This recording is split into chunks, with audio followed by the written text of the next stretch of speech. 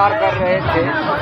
तमाम श्रद्धालु इसी पल का इंतज़ार कर रहे थे कि सूर्य अपनी प्रकृति को बिखेरे और उदयमान हो, ताकि अर्घ देकर इस छठ पूजा का समापन किया जा सके और वह पल स्नेह स्नेह आ गया और इसी तरह स्नेह स्नेह सूर्य पूर्व की ओर उदयमान हो रहा है और नदी में यहाँ तमाम लखीसराय के वासी क्यूल नदी में इस प्रकृति का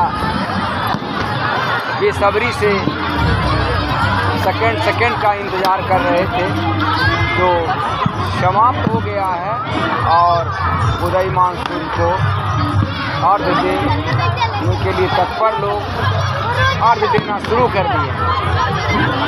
तो कुछ ही मिनटों में देने का कार्यक्रम। सूर्य को नमन प्रणाम करने का कार्यक्रम के साथ ही समापन हो जाएगा। नमस्ते, प्रणाम आप सब भाइयों को। तो आप लोगों ने देखा हमारे छठ पूजा घाट समिति को। तो बहुत ही मेहनत से हम लोग ने ये सारा किया है। हमारे पूरा टीम ने मिलके। तो ऐसे ही सहयोग करते रहिए, जैसे हमेशा कर रहे हैं। आप सबको हमारे क्षेत्र समिति की तरफ़ से बहुत बहुत धन्यवाद लक्की साहब टीम की तरफ़ से धन्यवाद जय हो जय हो छठी मैया जय हो छठी